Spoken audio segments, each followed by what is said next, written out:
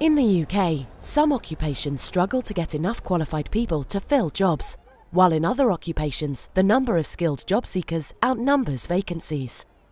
This picture varies hugely across the UK. Sometimes there's a good match between skills and jobs in the local area, whereas in other areas there is an imbalance. In some areas there are more skilled people than jobs, while in other areas there are more jobs than skilled people. So, how can we get a clear picture of the supply and demand for skills at a national and local level? Introducing Where the Work Is. Our new Jobs dashboard allows users to see how many entry-level mid-skilled jobs there are and how many people might apply for them. Where the Work Is can help us understand the spread of jobs across different sectors and regions helping training providers, employers, and decision makers to understand their local labour market and inform decisions about investment in education and industry. It focuses solely on entry level mid skilled jobs, which are those that require some level of qualifications but do not require a specific degree.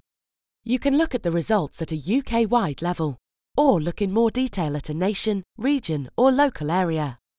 By navigating to a particular region, you can see which jobs have the most openings in that area and who those job openings are aimed at, school leavers or those graduating from further education or higher education.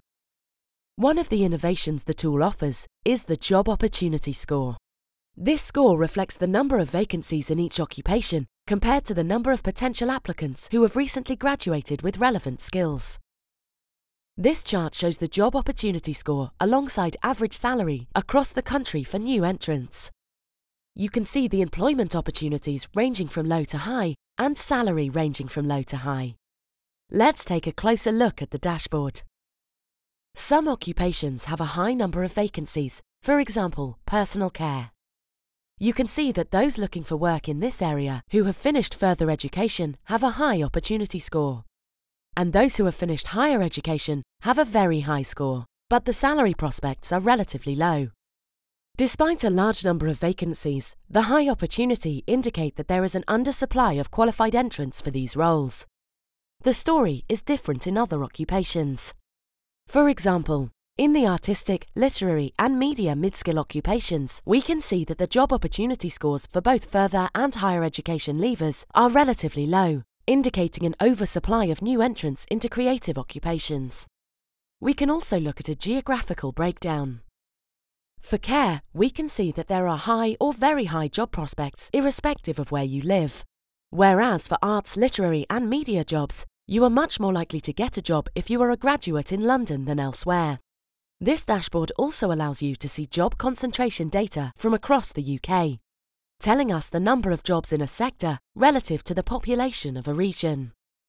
You can see that it is in London where the concentration of jobs in arts, literary and media is highest to go alongside the higher employment opportunity score. While for care there is a much higher concentration of jobs in the east and southeast of England, with fewer jobs in London.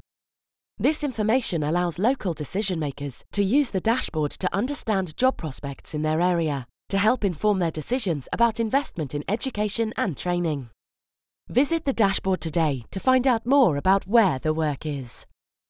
Where the Work Is was created by IPPR and Burning Glass Technologies as part of JP Morgan Chase's global New Skills at Work program.